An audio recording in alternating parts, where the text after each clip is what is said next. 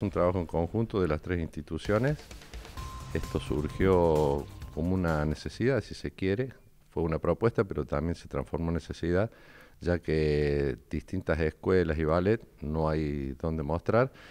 Entonces se nos ocurrió este, una cosa con las otras dos instituciones y dijimos, bueno, vamos a proponer un encuentro virtual, esencialmente como para que cada uno muestre lo que está haciendo, cómo lo está haciendo, o sea, no es una competencia, sino que es un encuentro, una muestra. Y bueno, se le dio forma, este, estamos muy entusiasmados y gracias a Dios este, han respondido bastante los ballets. Eh, se da un tiempo X a cada institución. Eh, si en algunas localidades hay más de una institución, pueden participar, no hay ningún inconveniente. Entonces, en ese tiempo que es de 10 minutos, eh, cada institución puede mostrar lo que quiera, es libre. Eh, puede mostrar malambo, pareja, grupos, distintos grupos, ballet, escuela. En eso lo dejamos libre porque eh, consideramos que hay una realidad que, quiere mostrarse y entonces cada uno hace lo que quiere. Y se va mm, eh, justamente con esta gente, con el grupo este de territorios creativos, va a haber una edición, todo un armado, y se va a pasar por canal de YouTube de acuerdo a la cantidad de participantes en distintas sesiones, que eso lo vamos a ver más adelante. ¿Qué entidades eh, tienen que ser públicas o pueden ser privadas los que participan? En realidad, eh, este primer encuentro está pensado para todos los municipios que son integrantes de la ENRED. Eh, después, si esto, digamos, está teniendo el éxito que queremos, tal vez lo hagamos más.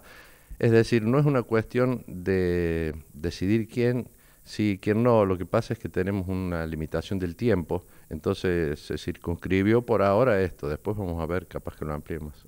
Bueno, el ENRED está conformado por 55 municipios de, bueno, de diferentes departamentos de la provincia de Córdoba, así que bueno, eh, por ahora están, son ellos, digamos, los que están invitados a participar, tanto instituciones públicas como privadas, porque bueno, hay, hay muchos eh, talleres municipales, ballet eh, folclóricos municipales y también algunas academias privadas, así que bueno, está abierto, digamos, para que todos puedan participar.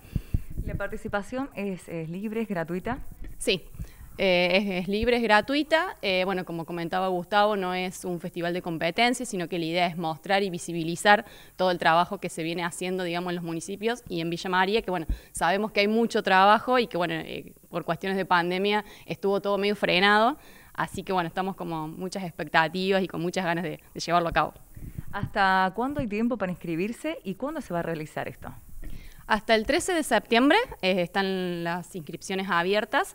Para poder ingresar tienen que entrar a la página de la ENRED, ahí están las bases y condiciones y el link de, inscripción, que es eh, www.enred.gov.ar.